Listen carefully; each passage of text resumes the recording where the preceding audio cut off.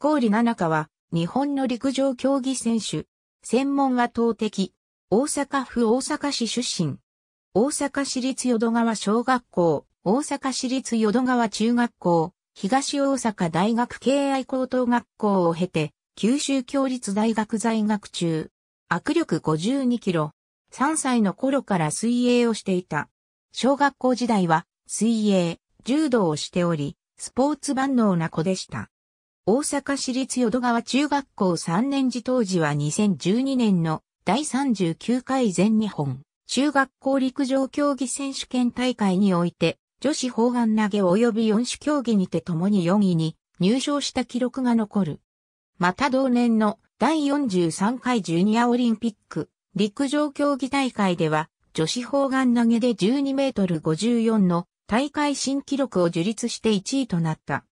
東大阪大学敬愛高等学校進学後は3年時の平成27年度全国高等学校総合体育大会において女子砲丸投げ及び円盤投げの2種目に優勝。特に円盤投げは49メートル15の大会新記録を樹立した。2016年春の高校卒業後、福岡県北九州市へ渡り、九州共立大学スポーツ学部に進学を決める。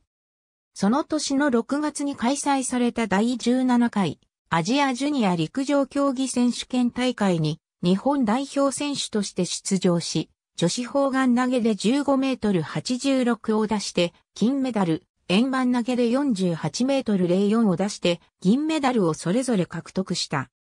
7月、2016年世界 U20 陸上競技選手権大会に日本代表選手として出場。大会では女子砲丸投げ、円盤投げの2種目に出場して予選敗退であった。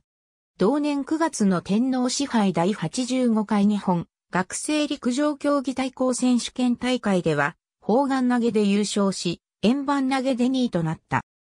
2017年大学2年進級後の4月22日、日本グランプリシリーズの第65回兵庫リレーカーニバルの女子円盤投げにて49メートル23を投げてシニア競技会初優勝を飾ると、6月の第101回日本陸上競技選手権大会女子砲丸投げでは15メートル82を投じて初の日本タイトルを手中に収めた。9月の天皇支配第86回日本学生陸上競技対抗選手権大会女子砲丸投げでは16メートル57を投じて優勝し、シーズンの最後を飾った。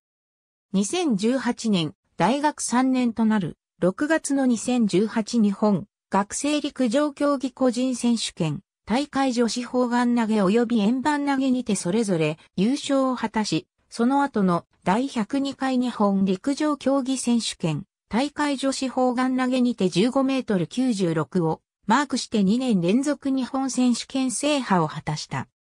2019年3月23日、九州共立大学記録会の円盤投げで59メートル03を投げ、室伏ゆかが保持していた58メートル62を12年ぶりに更新する日本新記録を樹立した。ありがとうございます。